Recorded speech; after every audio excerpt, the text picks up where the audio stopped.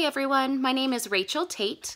A few things about me. Until about a year ago, I was a single mom. I have a daughter who's 18, who is a future Sun Devil. She'll be starting in August after she graduates in May.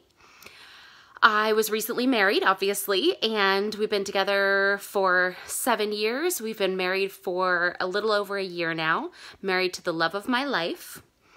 A quirky little fact about me, I name every vehicle that I've ever owned. Within about five minutes of meeting my vehicle, I come up with a name. It just comes naturally. My current vehicle is a Kia Sorento, and her name is Olivia. So I'm excited to get started in this class. I'm excited to wrap up my degree. My degree is in interdisciplinary studies. Um, my concentrations are sustainability and urban planning, and I will be finished up after summer semester, and I plan to move on to my master's degree. So I'm excited to get started in class, and I'm excited to have class with all of you. Have a great day.